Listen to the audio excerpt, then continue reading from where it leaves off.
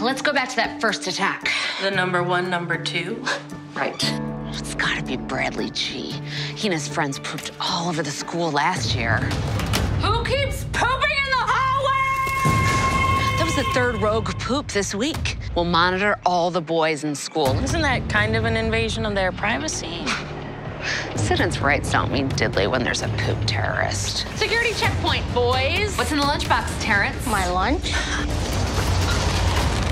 Shredded wheat. Pretty high fiber snack here, Terrence. You planning on using this at both ends today? An attack is imminent. Bradley G's dropping a bomb. Go, go, Please, I can't take this anymore. You listen me, okay? It's like we're missing something. We got the wrong guy. The pooper's still on the loose. Am I? Yeah. Is it all over my back? Oh, yeah, you're covered in poo. Oh.